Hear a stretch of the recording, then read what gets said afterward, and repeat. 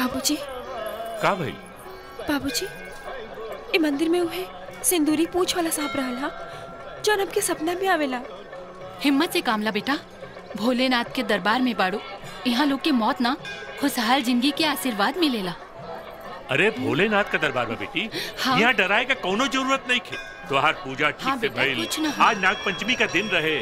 भगवान चाहिए तो सब ठीक हो जाए। अरे हो सके लो साहब तोहार दुश्मन ना दोस्त हो। हाँ। घबराए की ज़रूरत नहीं खे। तू चल घरे चल।